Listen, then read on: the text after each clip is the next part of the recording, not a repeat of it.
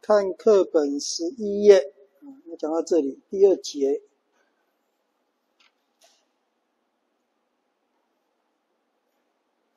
讲到这里呢。好，佛法的创觉者，啊，佛，讲到这里吗？好，那这个创觉就是最先觉悟的人。啊，那我们有时候叫先觉啊，啊，这个从这个娑婆世界，从佛法的开创者啊，那么释迦牟尼佛来说，那么他是第一个觉悟的啊，那么从释迦牟尼佛之后，都是因为释迦牟尼佛而觉悟的。那么，如果有不因为释迦牟尼佛而觉悟的，他自己觉悟的，但是他没有佛弟子，没有创建僧团的话，那么一般就叫做辟支佛啊。那么，所以啊，这个这里讲到佛法的创觉者啊，就创立佛教的最先觉悟的啊，这个佛啊，我们说这个佛是简称啊，应该叫佛陀啊。那么悉达多，好，那他这里啊，主要。主要分了几段，一个就是佛觉悟了些什么，他叫做觉者。啊，佛陀是觉者的意思，佛陀是觉者的意思。啊，佛是简称啊，啊，应该叫佛陀。啊，佛陀是觉者的意思，觉者，那就是觉悟的人。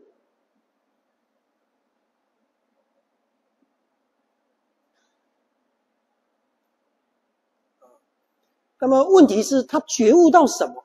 啊，他所觉悟的内容是什么？啊，那这个是一个啊，所以佛法一般叫四谛，那主要就是两部分，一个就是真理是什么？就是真理包含说，我们为什么会出现在世间？我们为什么会受苦？我们要怎么样才可以不受苦？要到达哪一个境界才可以就近彻底的不受苦啊？即是这样。那么就是他是用什么样的机制？就是他是以什么样的法则？那么才会有现在这样的状态？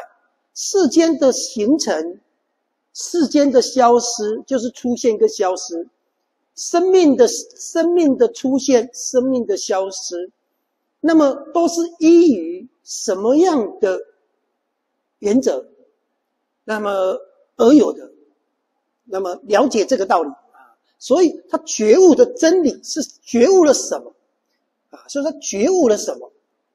那么第一个就是讲这个啊，就是所谓的佛，佛的意义是什么？什么叫做佛啊？佛就是觉者。那么他觉悟了什么？他在菩提树下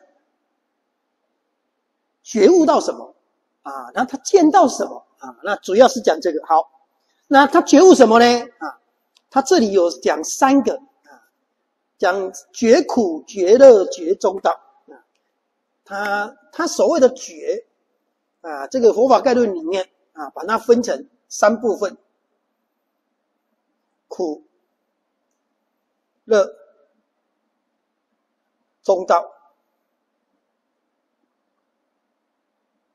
那我们说这个中道，那么当然一开始是包含啊，非苦非乐的中道啊，就是离苦乐两边的中道。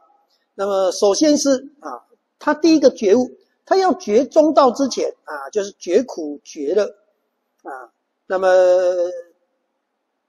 里面的内容啊，主要在讲，那么觉察到。世间是苦，那么王宫的乐不是真乐，因为他就他现前的状况讲，他是由年轻，那么又有钱啊，又是王族，享受着五欲的快乐啊，那么五欲的乐不是真实的，那么世间的苦是真实的啊，那么他从这里，那么去出家啊，从觉悟苦乐，那么去出家，那么出家。在菩提树下正得中道啊，就就觉悟到中道啊。基本上从这三个地方讲，所以啊，他会先讲他就是说他是怎么出家的。他出家是因为觉苦觉乐啊，然后出家之后，出家之后啊，觉悟中道而成佛啊。那一般来讲，觉就是觉悟真理，那么真中道是真理啊，就真理，真理就是亘古不变的道理啊，我们叫做法性、法住、法界啊，或是法位啊，基本上是这样。有时候叫三法印啊，那么通常来讲啊，佛法的核心啊，四谛都不离开中道，四谛啊，中道缘起啊，无我，那么也可以这么说啊，这个真理基本上是中道，中基本上是以缘起来讲。啊，那缘起中道，缘起四谛，缘起无我啊，那可以这样讲啊。所以见缘起即见法。那有人问佛，那么瞿昙，你都说些什么啊？你都说些什么？我说缘起啊，基本上是这样。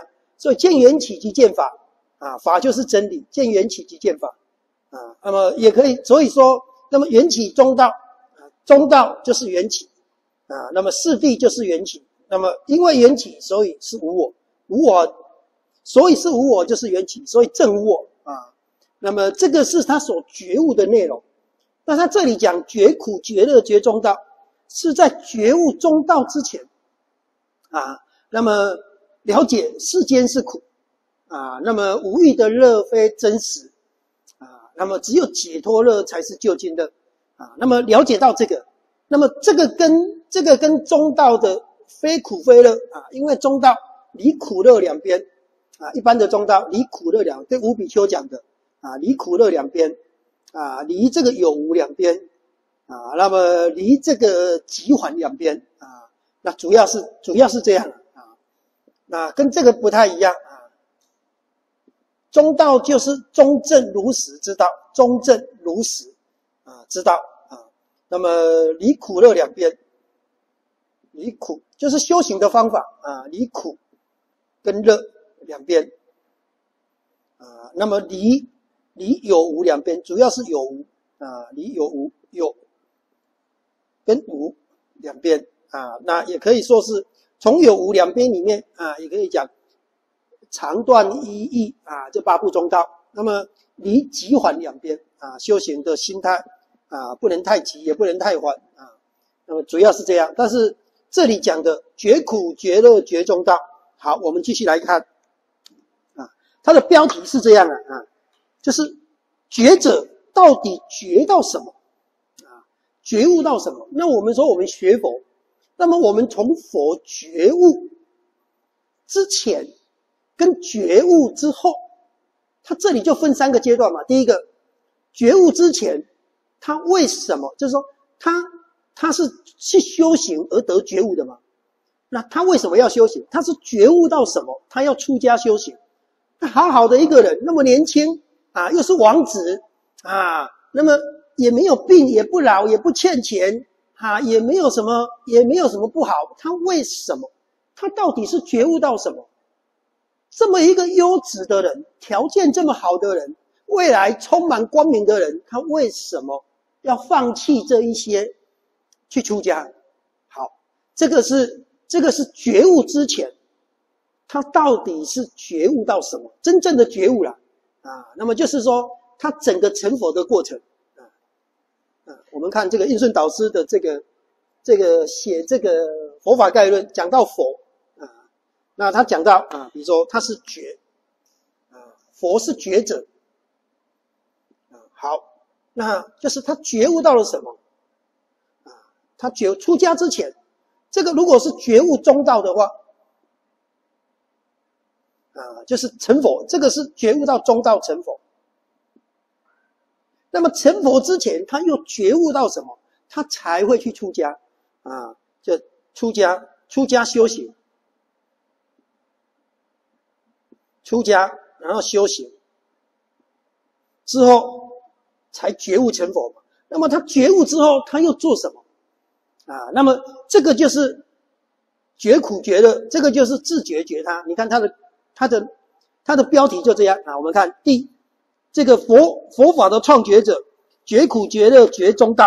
好，那么后面就有自觉与觉他啊，就是说他觉悟了之后，他觉悟了之后，他又做了些什么？就是说觉悟之前，觉悟之前。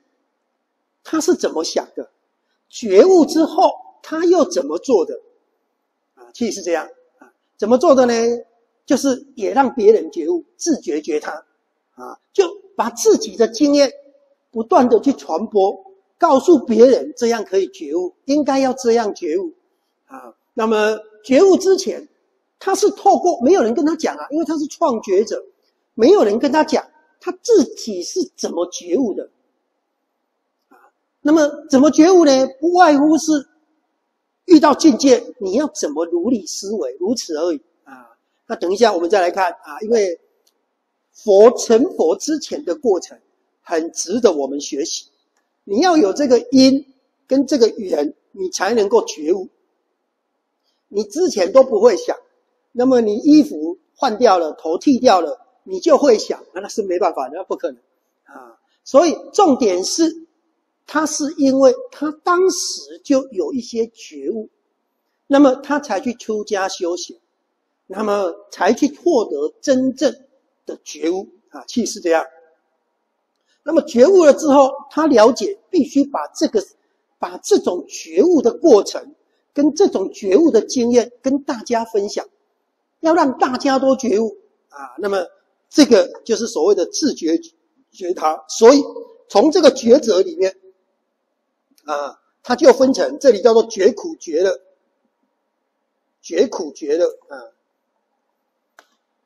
好，我们应该可以这样讲啊，从这个抉择里面，这个觉里面啊，前面是觉苦觉乐啊，那真正称为觉者的觉苦觉乐，这个是世间的，那么绝中道。那么，如果只是如果只是觉中道，他还他也是觉者没有错。但是佛陀的这个觉者之所以他独叫做觉者，跟其他的阿罗汉不一样，是为什么？因为他除了自觉还觉他，所以才被称为佛陀觉者，就变成觉者。佛陀这个名字，觉者是他所专用的，遵从他。第一个，第一个他是第一个觉悟的，第二个。他不但自己觉悟，还带领很多的人觉悟。阿罗汉也让别人觉悟，啊，迦留陀已度了九百九十九家，人也非常多。目犍连舍利佛也度了非常多人，但是跟佛陀比起来，啊，那么都是微不足道。所以他的重点在自觉觉他啊，佛陀。所以大乘佛法也是这样啊。第一个是觉苦觉乐，第二个是觉中道啊，就是真正称为佛。那么佛跟阿罗汉的不同在于自觉觉他啊，就不但啊。那么这个是应顺导师在这个佛法概论里面的三个主要的主题啊，啊，我们看一下就知道了啊。那么他强调的是，他是在人间成佛的啊，这整个过程都是在人间成佛的啊，绝苦绝乐是在这个人世间。觉中道在这个人世间，自觉觉他在这个人世间，啊，所以叫做即人成佛，啊，所以这整个过程，啊，在人间出生，在人间修行，在人间成佛，在人间度众生，叫做即人成佛，啊，好，那这个是我们从这个佛法概论里面的啊。那看到，就是这这这个最主要的这个佛法的创觉者佛这一篇啊，它主要在讲这个东西啊。那因为法前面已经讲过了，所以佛跟身啊，就是说我先把这个就是这一节里面的一个重点啊，他就在讲这个东西。好，那我们来看，第一个是绝苦绝乐绝中道。佛法的创说者释迦牟尼佛，啊，释迦族的贤人，释迦牟尼是释迦族的贤人。七佛里面有一个用摩尼为主的，居那含摩尼佛啊，居那含族的贤人啊，释迦牟尼，释迦是他的种族啊。我们说过，释迦是他的种族。那么他真正他不是信释迦啊，后来我们信释，我们姓释迦是什么是什么啊？那个就出家人都用姓氏，那个是道安啊。那么就变成都是释迦族的啦啊。那其实我们会说他是释姓姓啊，姓名的姓啊。那一般我们说姓杜啊、姓林啊、姓陈啊、姓王啊啊，不是，那个是他种族的名字，他的姓是姓瞿昙啊。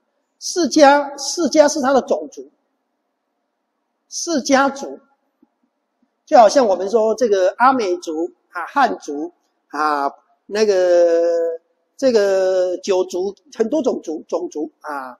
那么这个他是释迦族，释迦族的贤人叫做释迦牟尼佛。释迦牟尼，牟尼是贤人的意思啊。释迦牟尼，释迦族的贤人，牟尼是贤人。那么迦舍佛前面是居那含摩尼佛，居那含主的贤人啊，贤人，摩尼是贤人的意思。那尊称叫做释迦摩尼佛觉者，他姓是姓瞿昙。啊，那有些就直接让他瞿昙瞿昙，啊，那。瞿昙有时候翻译叫做乔达姆，啊，这个这个笔没有快没有水了，叫做乔达姆。有时候翻乔达姆，啊，那有时候翻瞿昙，他的名字叫做悉达多，啊，啊，其实是这样。那我们叫做释迦摩，我们就直接比较讲说释迦牟尼佛，释迦牟尼佛，啊，这里有，这里还有很多。好，那他这里说到啊，我们来看，这里说到是中印度加毗罗卫国王子。加毗罗卫国在靠近尼泊尔附近比较不远啊。后来啊，它其实它其实完整来讲，它是一个小国。释迦牟尼佛的国家净饭王，他们是一个一个类似。共和国，共和国它基本上是就是没有国王，它是由几个人代表，他们投票的议会制的啊。那很早以前他们就这样了啊。那加比罗卫国是归归这个乔萨罗国管的，就是波斯匿国波斯匿王管的啊。他是他是乔萨罗国的宗。宗主乔萨罗国是他的宗主国，有一点像早期越南呐，或是有一些地方是归中国保护的，啊，是受中国保护的，或者中国的是他的宗主国，类似像这样啊。那么加比罗卫国，加比罗卫国是国王啊，他基本上是。由他们四家族里面的净饭王、白饭王啊，那么甘露饭王、福饭王，他们共同共同啊，就是他基本上比较属于共和国了啊。像毗舍离也是共和国，他没有国王，没有真正的国王啊，就是由一群一群贵族，那么负责啊，那么大家讨论啊，国家要怎么运作，要怎么什么啊这一些啊。那么加比罗国也是这样啊，那。加比罗卫它是归啊，它主要是归这个管，归乔萨罗国管啊。乔萨罗国是宗主国，乔萨罗国的国王啊，就是乔萨，他是归乔萨罗国管。乔萨罗国的国王波斯尼啊，是归波斯匿王管，所以才会发生波斯匿王啊。波斯匿王啊，看上释迦族的人，他看你要派一个释迦族的公主来给我做太太，所以和亲啊，不然他就要啊修理他啊。那么，所以他其实是他的宗主国。那他的他的国家的面积也不大。那么乔萨罗国的乔萨罗国是比较有势力的。那么另外一个比较有势力的就是摩羯陀国啊，离得比较远。那乔萨罗国就在旁边而已啊。那么，所以所以他既是一个小国的王子啊。那么因为王子有很多人，不是因为他不是皇帝跟王子这样的，而是有很多很多啊，晋万王、白万他们有四兄弟啊。那么大家大家共同共同这个来来治理国家的啊。那所以他这个乔萨罗国是他的宗主国啊。那他真正他自己的国家的名字叫做加比罗卫啊。所以他说中印度啊，那么这个是我们的说法啊，那就是我们现在来看印度，因为印度当时并不是一个完整的国家，在佛陀时代有十六十六国或几国啊，它并不是好像我们说现在我们讲中国，那么当时并不是啊，当时是啊，比如说魏晋南北朝啊，那么有所谓的啊那。比如说这个南北朝啊，那么有很多国家，有七个国家，南边有四个啊，魏魏魏齐梁陈啊，北啊北边有三个，北魏、北齐、北周，那么南边有四个啊，宋齐梁陈啊，那么就是它有很多国，它并不是一个国家啊，但是大家分居。那么印度当时也是这样啊，那现在的印度当时是有很多国家的啊，那所以啊，我们现在讲中印度啊，是用现在的角度来看。就是现在印度中间啊，中印度那边啊，那么加毗加毗罗国啊，那一般我们叫做加毗罗卫啊，那么王子啊，那像像提婆达多也是王子啊，难陀也是王子，阿难也是王子啊，那个都是那些那些晋万王，哎，他的父亲是晋范王啊，那么他还有兄弟，他是老大，还有白饭王啊啊，胡饭王。跟甘露饭王，啊，这王啊，啊，那么他们这个迦毗罗国主要有四个，啊，四四个王，那就是他们四兄弟了。那净饭王是老大，啊，这个农业社会啊，所以都用饭啦、牛啦这些来表示殊胜啊。净饭王，啊，他也是国王啊，那么。白饭王王啊，胡饭王啊，甘露饭王啊，甘露饭王啊，所以王子还蛮多人的啊。他这四兄弟好，那释迦佛的父亲是这个啊，那母亲是摩耶夫人啊，摩耶。啊，不过母亲生下他啊，七天后就死了，啊，他是由姨母大爱道抚养长大的，啊，所以他的生母是摩耶夫人，啊，那养母是养母是这个大爱道，啊，大爱道也是难陀的妈妈，啊，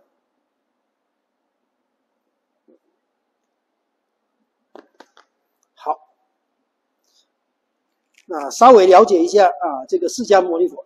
好，我们往底下看。他说：“少年时代享受人间的五欲啊，他是一个王子。那释迦牟尼佛享受的跟一般人不一样。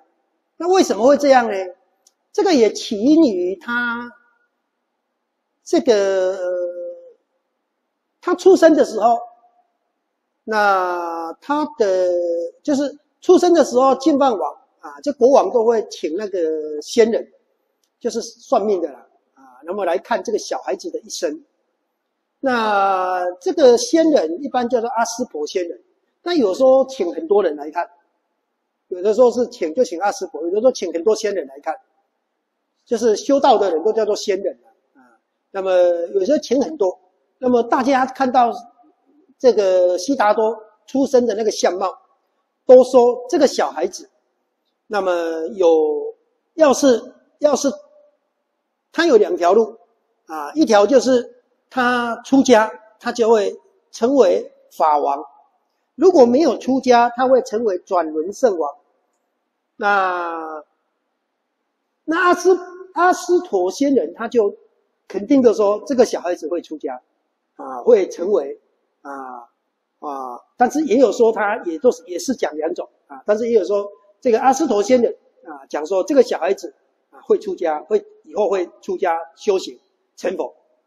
那因为这样，净饭王就从小就担心，啊，担心他以后出家。为什么会担心呢？因为他就只剩这个儿子，因为他太太死了啊，他没有办法再生了，你知道吗？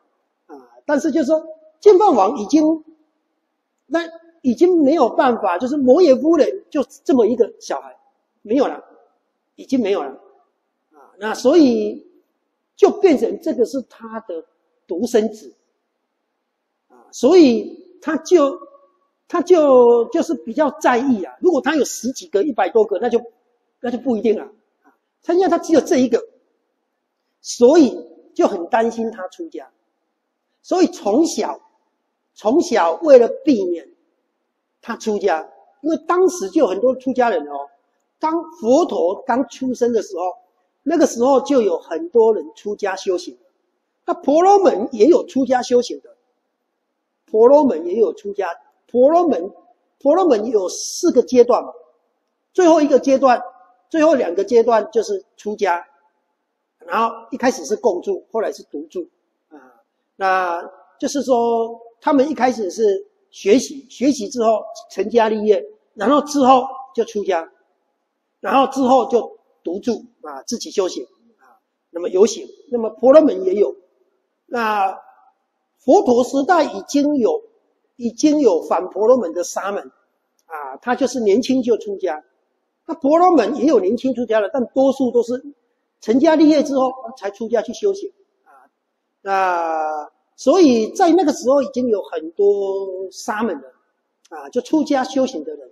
好，那这里这里说到啊，少年时代享受人间的五欲。那是因为净饭王为了怕他出家，那么给了他一切享受。当然啊，小时候他也是读书啦，怎么样啦，就文武双全啊，这些让他过最好的日子，还还特别为他啊盖了三个宫殿，春啊春夏冬三殿啊，有的说春啊这个这个就是下雨的时候啊。住哪里啊？那么天气热的时候住哪里？天气比较冷的时候住哪里？啊，就春夏三殿啊，就盖了这三个宫殿，就在王宫之外，还在其他的地方啊，那么盖了这三个宫殿花园，专门供悉达多去享受啊，就有一点像现在很多国王王子有所谓的行宫，你知道吗？啊，比如说。比如说啊，一一样啊，比如说以前蒋中正啊，那住住哪里？住士林，然后在苗栗的样子还是哪有一个行宫啊？在哪里有一个行宫？以前那个皇帝也这样啊，就哪里哪里有盖一个行宫啊。那么这个金饭王也是，在加比罗卫国的三个地方给悉达多太子盖了三个行宫，就专门让他。心情想要去外面走的时候，有可以住，然后那个地方极尽的豪华啊。那小时候都是给他最好的，因为他就这么一个儿子啊，他太太没有办法再生了，死掉了啊。摩耶夫人已经死了，生他出来没多久就死了啊，所以啊，这个就比较啊很在乎，很在乎他会不会出家啊，所以都给他最好的享受，而且而且为了怕他出家。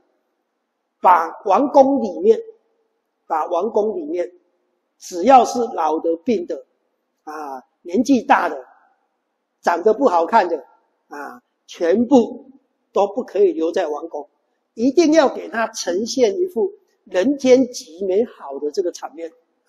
所以他是真的是享尽荣华富贵啊，那么就是就是捧在掌心的了啊，极尽呵护的。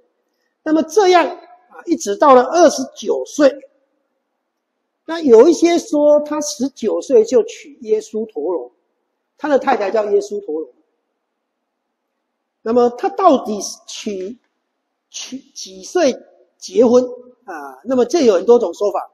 那娶了几个太太也有很多种说法啊。那一般有的说三个啊，一般一般记录的有的说三个啊。但是他就只有一个儿子啊，叫做罗侯罗啊。他娶的太太啊，就娶的太太。他妈妈是摩耶啊，那太太太是耶稣陀罗。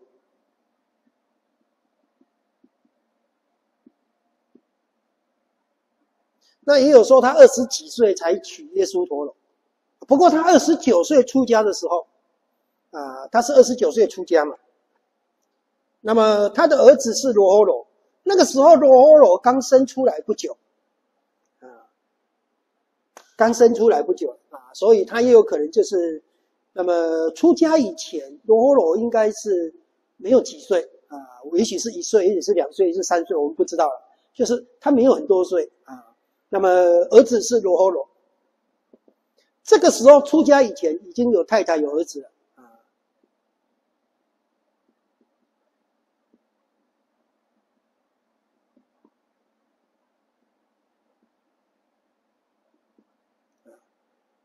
耶稣陀罗啊，罗诃罗，好。那这里是简单的介绍了啊。如果真的要介绍，就要看看这个本《佛本行经集经》啊，它里面有从从这个从出生啊，一直到他出家成佛啊，就讲的很多。好，我们再往底下看，他说二十九岁啊，那二十九岁的春天啊，忽然不顾社稷与家庭。设计就是国家了啊，国家民主了啊。那么跟家庭，因为他是王子嘛，一般的人就没有这种设计的这种概念，因为他不用继承啊，他不用管理这个国家啊。那么还有他，他已经有家庭啊，还没结婚就就也有啊，就是他的父母。那已经结婚还有太太小孩，而且他是有太太有小孩的啊。那么所以。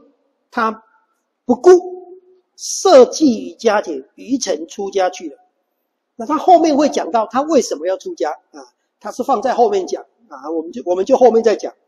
那么愚诚出家就是半夜啊，半夜请那个禅陀啊，那个就是车尼，我们叫做车尼啊，他先把这个他的那个侍者啊，照顾他的人车尼叫起来，然后。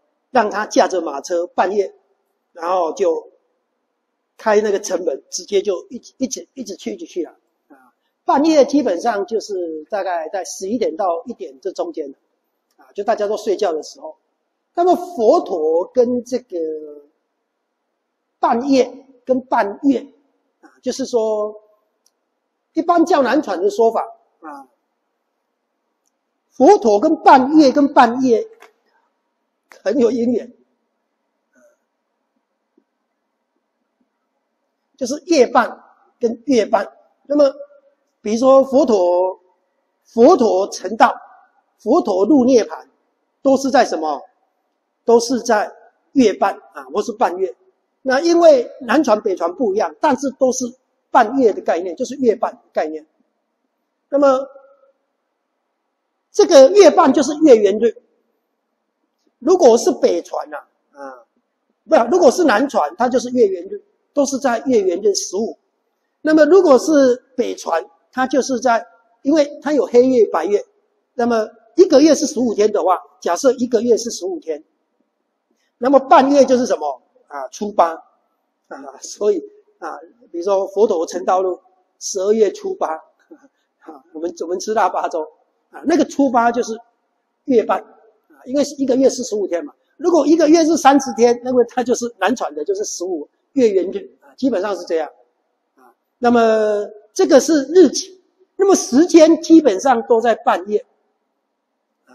比如说他要涅槃也是半夜，他要出家也是半夜，他要成道也是半夜啊，半夜见见流星都是这样啊。我们不晓得为什么，但是他好像就是都是第一个。跟在时间跟日期上，啊，都是半夜跟半月啊。那么成道、出生、涅盘都是在树下，那么这个又有关系啊。反正我们好像是不晓得是不是故意的还是怎么样，不知道。反正就就都是这样啊。出家、成道、涅槃。好，那么我们再往底下看啊。他说啊，这个出家去了啊，那也是夜半，我们叫做夜半愚城啊，夜半愚城。那么过从此过着严谨、谨严、淡泊的生活，一直到八十岁。好，就是从他出家一直到他涅槃，出家修道成佛啊，都过着严谨，就是少欲知足的生活因为他。出家首先是修禅定苦行，都是少欲知足；后来成道之后也是一样啊。那么都是这样过生活啊。那么一直到八十岁，世尊的所以出家。好，现在来讲他出家的过程。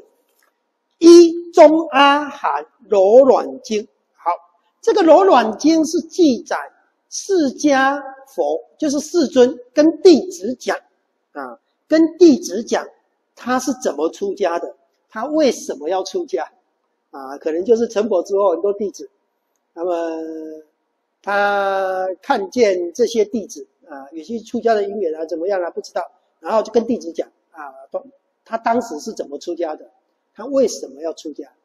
啊，就记载在所谓的《罗软经》里面。好，那么导师啊，这里说到啊。那么他说，《罗软经》里面说到，世尊到野外去游散，啊，游散其实就是去游览了，啊啊，游园散步啊。那么通常都是坐车了。我们已经说到这个释迦佛的父亲啊，就净饭王啊，在其他的地方给他盖了三个花园，啊，行宫。那么有一天他。他想说出去，因为一直在王宫里面也很闷嘛。他想说要出去走一走，那金万王就很高兴。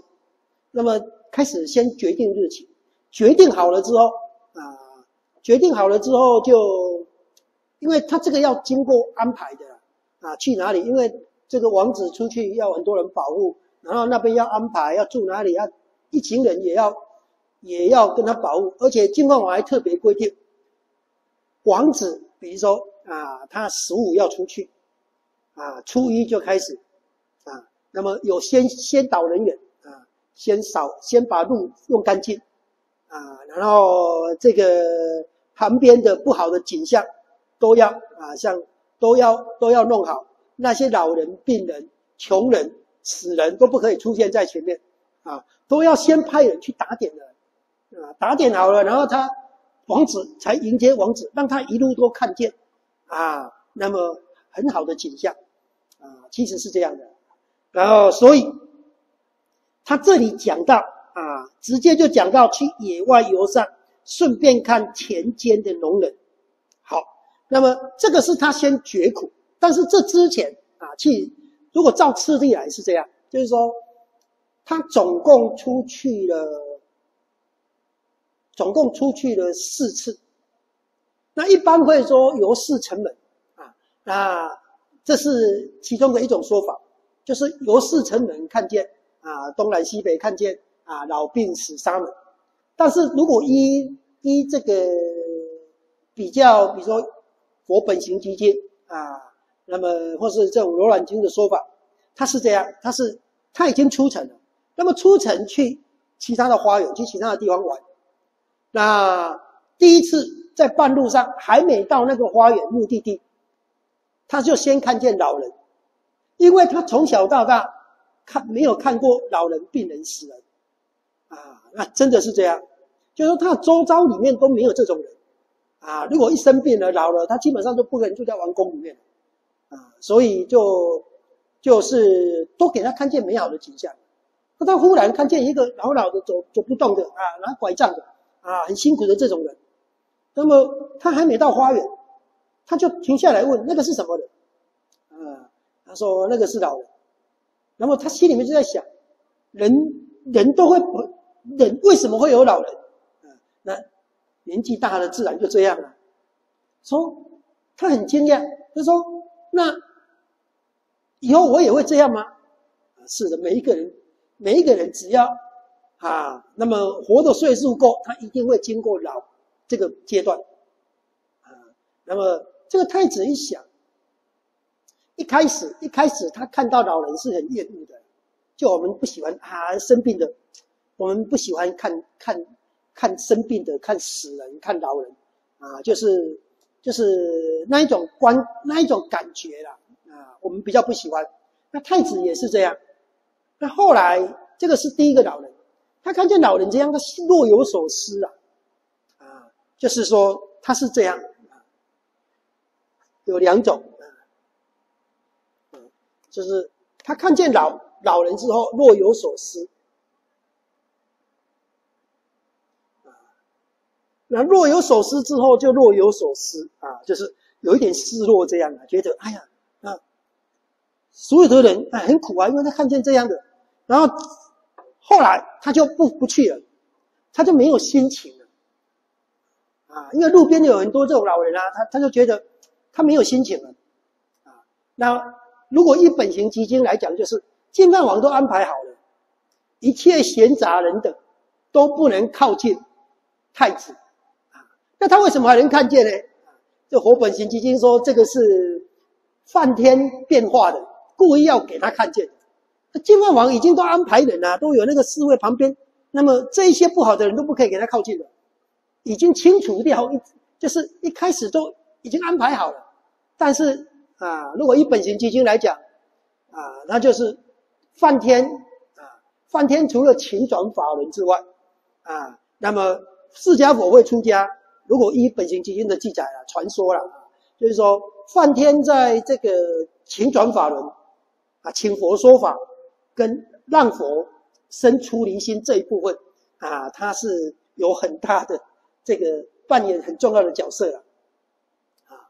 那么他变现一个老人啊，然后让释迦佛啊，那么看到，然后释迦佛就就是悉达多太子了，后来就不想就不想再去游览了，不想再去花，因为他没有心情了，没有心情，所以就回去。那么那么快出来没多久就回去，结果我会问呢？啊，这个旁边人就跟他讲，金万王就就心里面想啊，怎么会这样啊？所以第二次要再出去的时候，他就加派更多的人，一定要务必啊，一定要把那一些闲杂人等，就是他会处罚那一些你你们的缺失嘛，你们已经告诉你们了啊，那你们没有你们没有管制好啊。后来第二次看见病的生病的，也是梵天变现的。反正老病死沙门都是梵天变现的，啊，这个是本行佛本行基金或佛手行赞佛手行赞里面说的啊，但是是不是变现的我们不知道啊，反正就是，反正就是他有这种情形。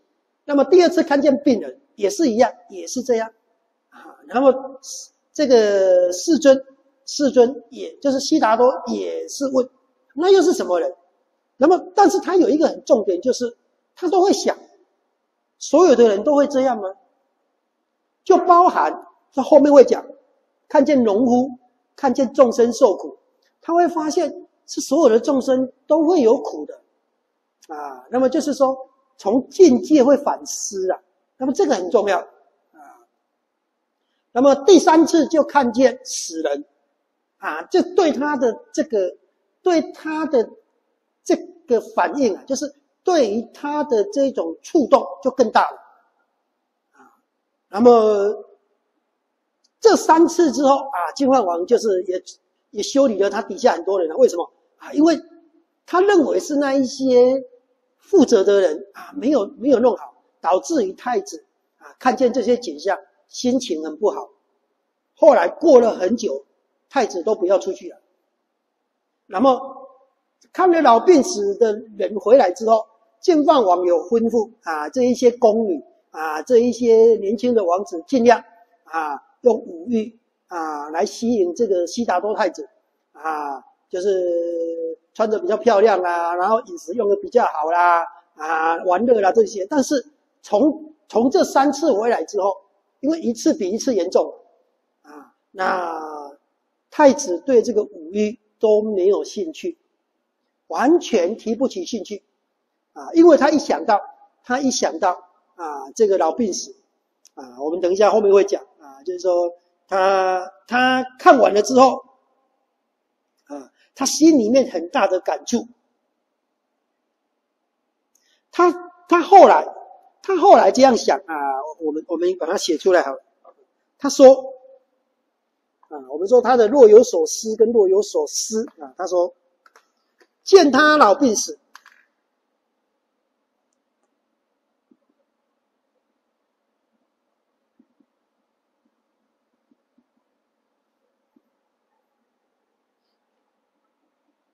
而不自观察。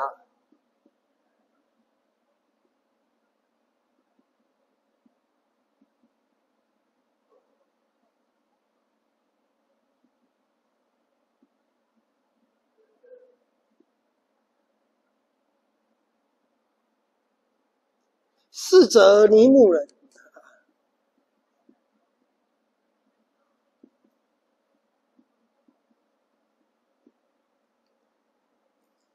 当有核心率？意思就是说。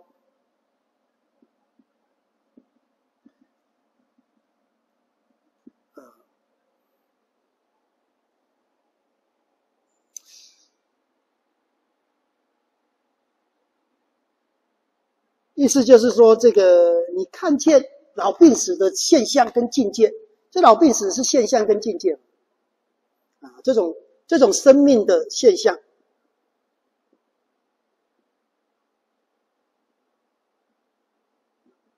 而且是苦的啊，不好的现象。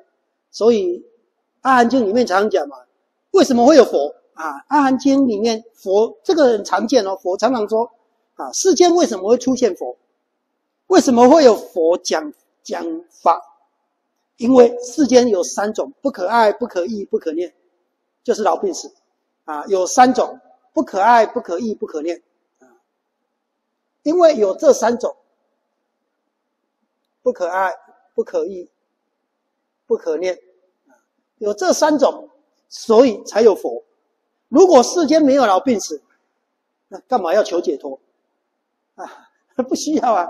就是因为世间有老病死，所以我们要解脱老病死，啊，就是生命生命的现象里面有这三种，这个不是我们愿意的，因为老的时候、病的时候、死的时候，呃，老的时候开始很多东西不再属于你，病的时候也是，死的时候就一切东西都不属于你，你所拥有的全部没有。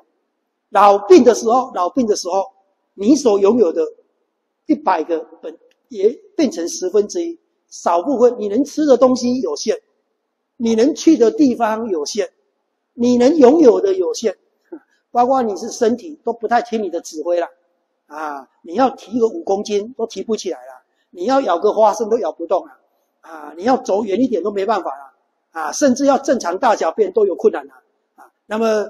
走一点就会喘了，就是说，开始很多东西本来是属于你的，渐渐渐渐越来越不属于你。到你死的时候，一切都不属于你，就就变成就变成这样了，就是苦啊！就世有三法，不可爱，不可义，不可念，所以佛才出现在人间，就是才有人想要去解脱，而真的得解脱，那个就是佛觉者。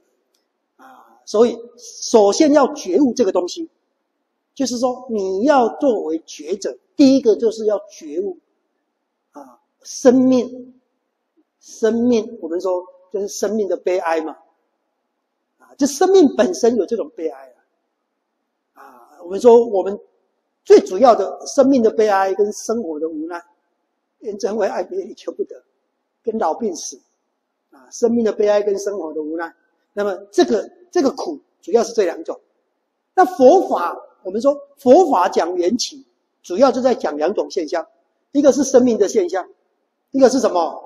身心的现象。生命的现象啊，就是说世间有因有缘，世间起有因有缘，世间灭。啊。缘起基本上就是因缘和合而生起，就是说在讲这个现象为什么会存在，起就是升起、出现。跟出现。我们说它是觉悟缘起嘛，它觉什么？觉悟缘起。那么生命为什么会出现？为什么是这样的出现？那它又怎么样会消失？在消失之前会经过老跟病，那死就消失了，啊，升起出现，然后消失，啊，那么消灭啊，就灭绝啊，灭灭坏啊，消失灭坏，不现不就不见了啊。那么基本上缘起就是在说，所以要有因有缘世间起嘛，有因有缘世间灭嘛。那这个世间是五蕴身心世间，是六三界六道的有情世间，是这样，那就是生命啊，有因有缘世间起。我们看哦啊，比如说缘起主要是这两个吧，啊，有因有缘世间起。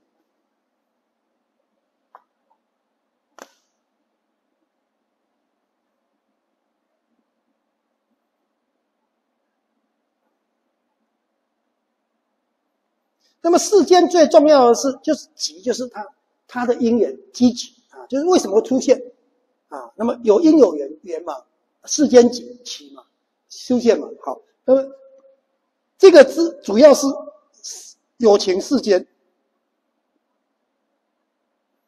那有情世间，有情世间里面的五蕴世间，就是人。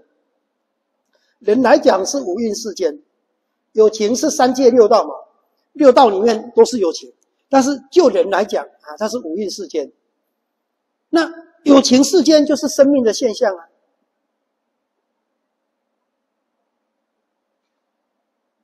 就是为什么会有这种生命现象？它是怎么来的？为什么是这样？你是这样，我是这样，不同啊。三界六道，地狱受那么苦，天天上享那么乐，是谁决定的？是谁决定的？为什么？要要解释这种道理啊，啊，那么五蕴世间就是什么身心现象，我们的身心现象，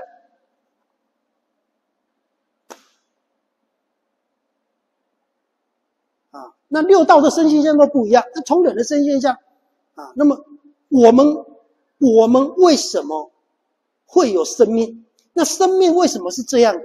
那下一个生命又是怎么来的？那么这个生命以前的前一个生命又是怎么消失的？那下一个生命是怎么来的？为什么要解释这些道理？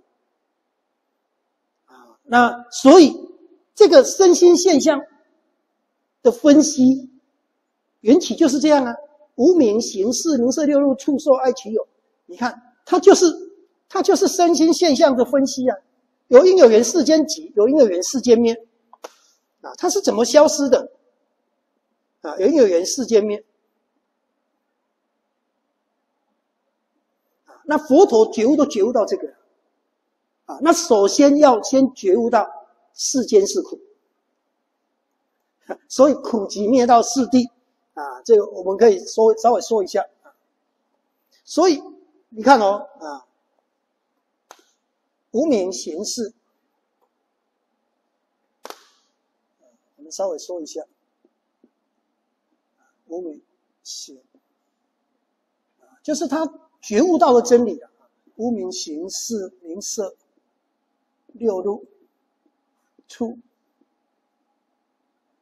受爱取有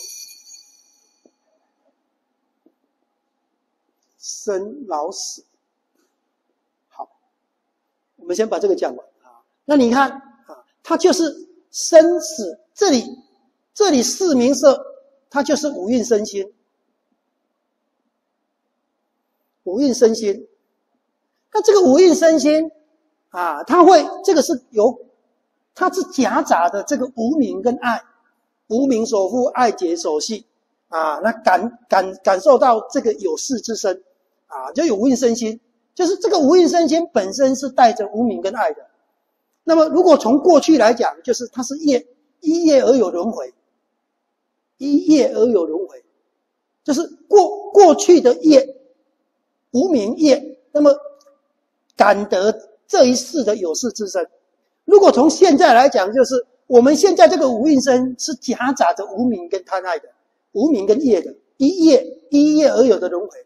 那这个六路触受爱取，基本上是这个无印身心的变化。身心境，这个身心面对这个境界，产生种种的业，造作种种的业。那么这些业，这些业就形成，形成由过去的、现在的，又形成未来的什么啊？未来的无运生，就有未来的无运生。那么未来的无运生又有生有死。那么如果从现在来讲，从现在来讲啊。那么我们累积，就是说这一些造作的业，那么它会促成我们啊，又生又死，又生又死，生老死就不断的轮回，啊，那么这样就形成一个生命现象，就生老病死，就生老病死，生老死，啊，生老死，生老死。那这个生，这个有，它当然这些都是啊，都是身心现象，这个都是身心现象，这个是身心现象。那么从头到尾，这个无名行到生老死这边都是生命现象。那么这样就是我们的生命到底是怎么怎么成为现在这个样子的？那么我们未来的生命又会是怎么样子？那么取决于我们现在的身心面对境界，面对境界，它是怎么样一个反应？啊，所以有时候在这里说，有时候在这里说。啊，那么在这里就就是无名处跟无名相应的，那么跟不跟无名相应的叫做名处，那么凡夫都是无取运，就是跟无名相应的。那么阿罗汉佛也有无运，他也有无运，他一样是色受想行识，他也会有处，但是他不会起无名相应，他没有名，他只有名相应处，他没有无名相应处。那凡夫都是无名相应处。那因为这样有杂染，那么才会又有生死。那如果是阿罗汉，啊，他一开始有，但后来把烦恼断掉了，他后来没有无名相就没有不再起无名了，他这一生死后就不再有生了，他就不会相续，生命不会再相续的轮回，啊，其实是讲这样。那这个是佛陀告诉我们的。那么他觉悟到这个道理，首先是从苦。从苦来啊，生老病死，忧悲恼苦，就是他看见生命啊，愿正为爱别离求不得，那么总说苦苦，所以叫做纯大苦运句。这整个生命是纯大苦运，都是苦，苦的积聚。